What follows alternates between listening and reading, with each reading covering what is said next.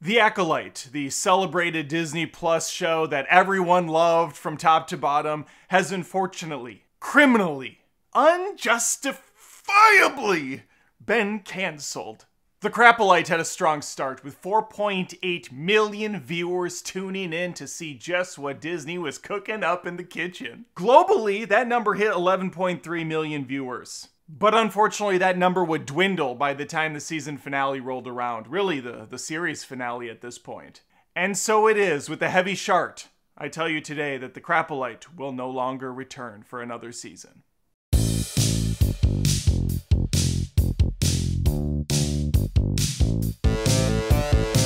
I think the saddest part in all of this is I probably will never be able to say, the power of one, the power of two, the power of many, ever again. They didn't even get to the power of two. It was canceled after one season.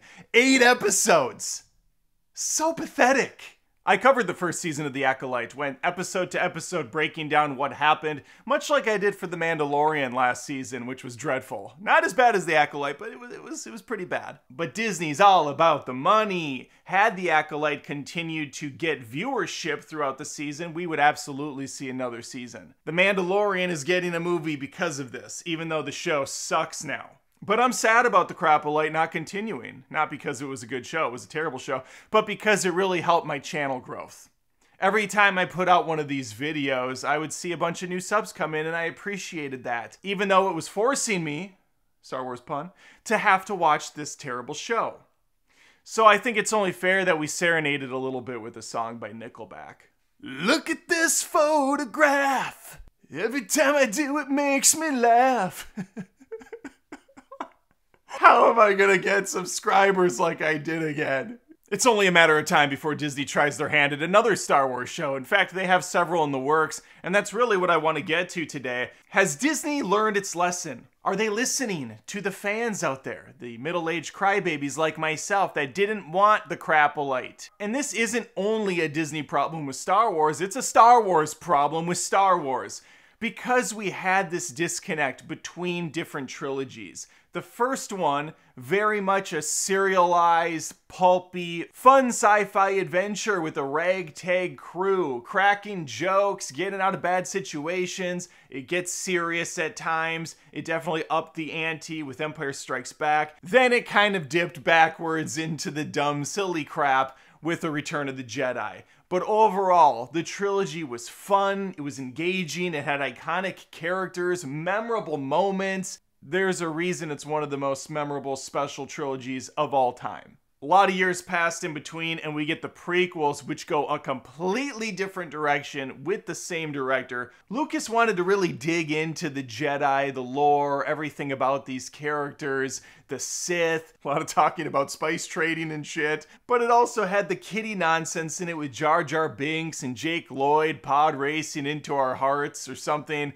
But then again, it gets really dark by the third film. So, two different trilogies, two very different tones all around. And then you have the new Rey trilogy, which tried to emulate what came before, succeeded at first, fell on its face when it had to come up with some original stuff on its own. And ever since then, Disney has had such a hard time trying to figure out where Star Wars should land. And instead of taking chances with new things, it continuously goes back to the same old crap we've seen a million times.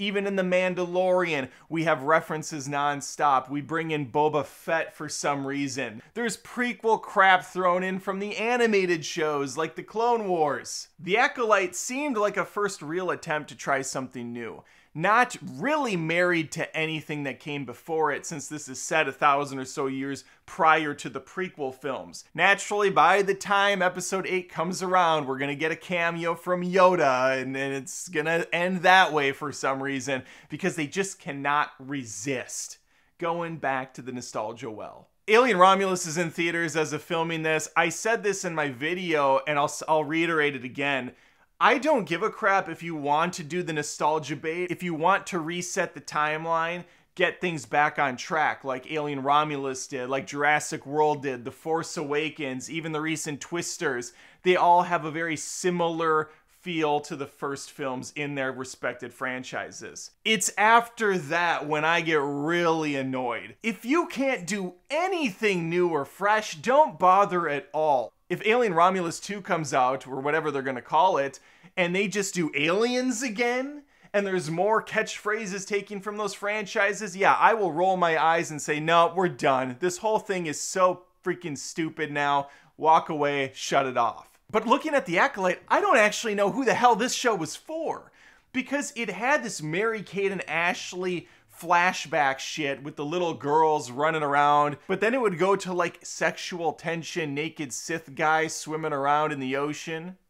W- what? It was just a complete mess, and I don't know who the demographic for this was. The only shows coming back that I know of are Andor Season 2, which a lot of people really enjoyed. I honestly couldn't get through it. It was just a little too slow and boring for my taste.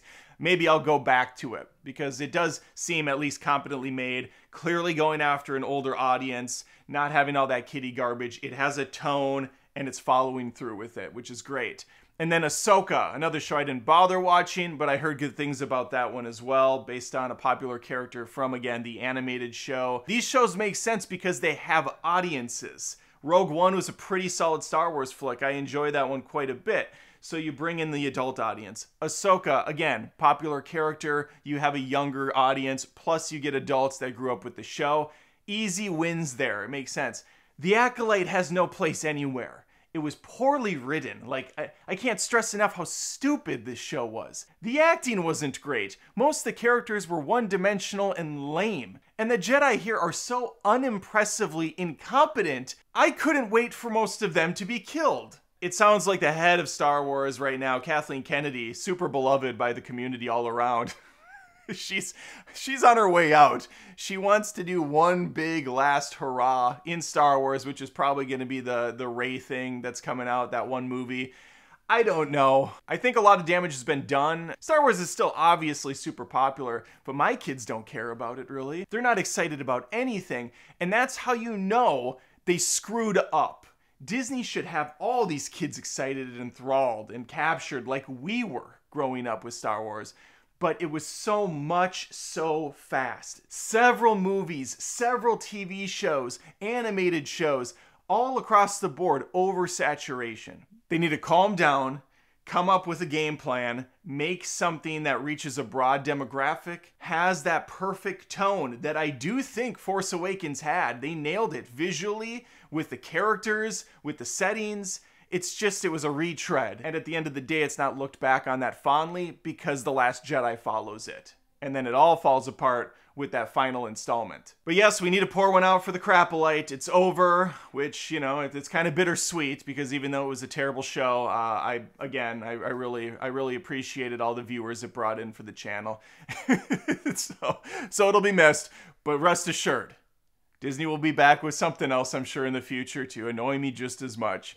All right, those are my thoughts. Let me know yours. Are you sad by this news? Were you actually on board with this show and you were kind of fascinated by some of the questions it posed? Or are you like me and you thought, yeah, no, this is this was bad. This was bad across the board. Try do better, Disney.